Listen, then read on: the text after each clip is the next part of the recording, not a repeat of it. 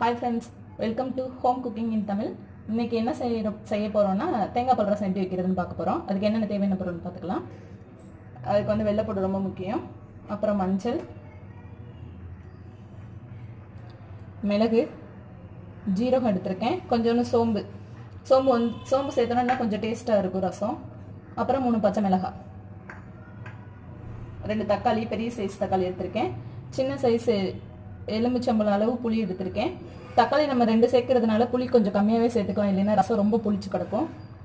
அப்புறம் தேங்காய் பால் அரைச்சி வச்சுருக்கேன். ஃபஸ்ட்டு பால் இது. திக்காக இருக்குது. இது வந்து தண்ணி பால். அடுத்தடுத்து அரைச்சது. ஓகே இப்போ நம்ம ரசத்துக்கு தட்டி எடுத்துக்கலாம். பாருங்கள் தட்டி எடுத்துக்கிறோம் நம்ம. இப்போ மிளகு ஜீரகம் சோம்பு எல்லாத்தையும் சேர்த்துக்கலாம்.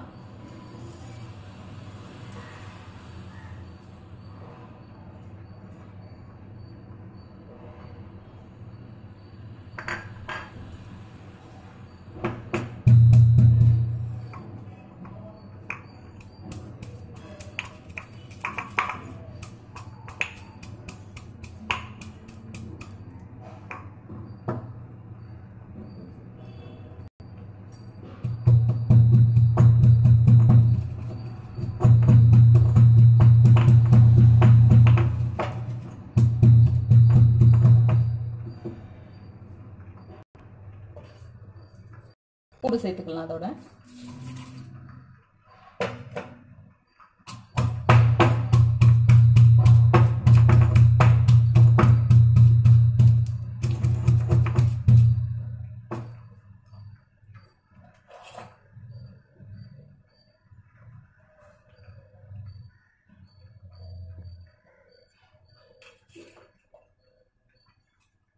பச்சை மிளகாய் சேர்த்துக்கலாம்.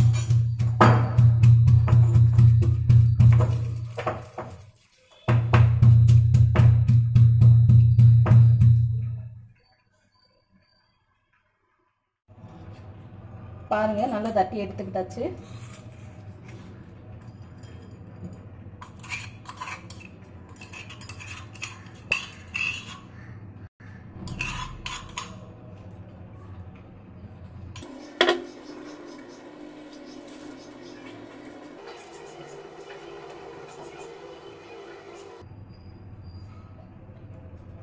அடுத்து தக்காளி நம்ம என்ன செஞ்சிடணும்னா தேங்காய் பல்ல போட்டு நல்லா பிணைஞ்சு எடுத்துக்கலாம்.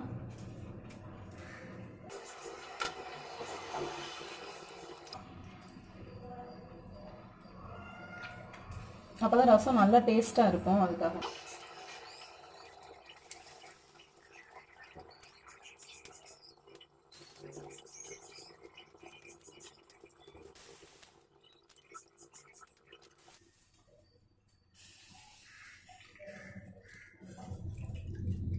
புழிஞ்சிட்டு இதை தனியாக எடுத்து வச்சுக்கிடுவோம். ஏன்னா நம்ம தாளிக்கும் போது சேர்த்து வக்கிட்டு அதுக்கப்புறம் நம்ம ரசம் ஊற்றிக்கலாம் அது கீழே போடணுன்ற அவசியம் இல்லை.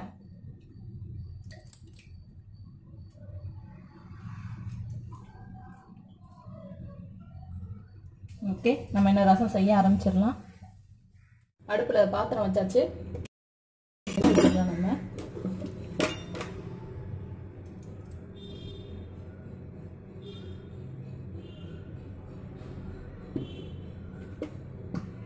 ரசத்துக்கு ரொம்ப எண்ணெய் ஊற்றினா நல்லா இருக்காது.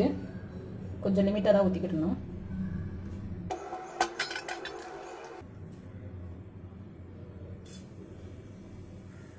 கடுகு சேர்த்துக்கோங்க.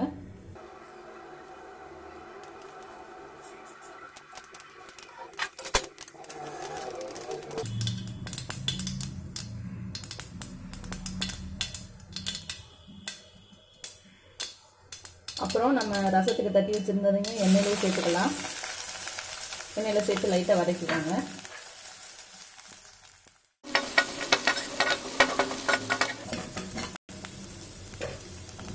நம்ம வச்சிருந்த மஞ்சள் பொடியும் இதிலே சேர்த்துடலாம்.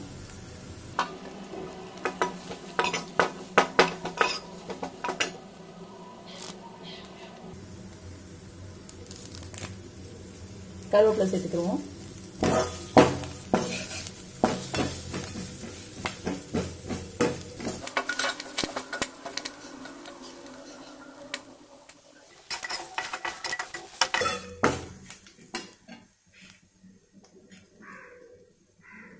கொஞ்சம் புதினாவும் சேர்த்துக்கலாம்.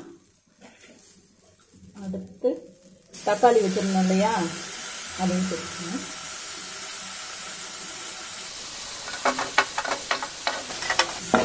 நல்லா வதங்கட்டும். தக்காளி எல்லாம் சேர்ந்து ஒரு ரெண்டு நிமிஷம் வதங்கினா போதும். பாருங்க நல்லா வதங்கிடுச்சு. இப்போ என்ன பண்ணாங்கன்னா நம்ம தேங்காய் பால் தக்காளி எல்லாம் சேர்த்து வச்சிருக்கோம் இல்லையா? நான் அதிலே வந்து புளியையும் கரைச்சி ஊற்றிட்டேன் மொத்தமாக இங்கே பாருங்க. ரெடி பண்ணி வச்சிருக்கோம் இல்லையா? அதை அப்படியே தூக்கி ஊற்றிடலாம்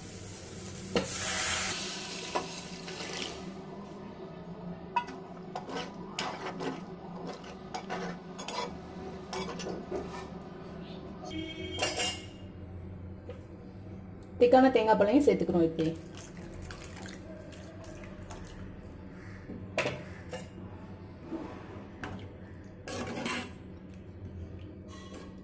ரசத்தை எப்பயுமே கொதிக்க விட்டுறக்கூடாது. கொதிச்சா நல்லா இருக்காது. ரெடியாகிற வரைக்கும் கொஞ்சம் வெயிட் பண்ணலாம். பாருங்க நல்லா வதங்கிடுச்சு. இப்போ என்ன பண்ணலான்னா நம்ம தேங்காய் பால் தக்காளி எல்லாம் சேர்த்து வச்சுருக்கோம் இல்லையா? நான் அதிலே வந்து புளியையும் கரைச்சி ஊற்றிட்டேன் மொத்தமாக இங்கே பாருங்கள் ரெடி பண்ணி வச்சிருக்கோம் இல்லையா? அதை அப்படியே தூக்கி ஊற்றிடலாம்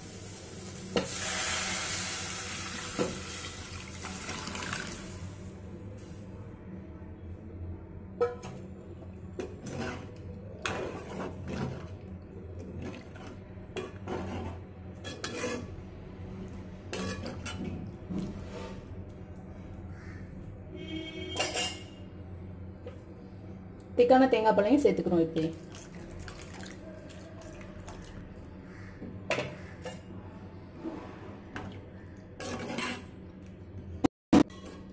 ரசத்தை எப்பயுமே குச்சா நல்லா இருக்காது. ரெடியாகிற வரைக்கும் கொஞ்சம் வெயிட் பண்ணலாம். இப்போ பாருங்க நல்லா நுரைச்சி மேலே வந்து ஃபுல்லாக கொதிச்சிடக்கூடாது. இந்த மாதிரி லேஸ் லேஸாக கொதி இருக்கும்போதே நம்ம இறக்கிடணும். ஆஃப் பண்ணிடணும். கடைசியா மல்லித்தலை.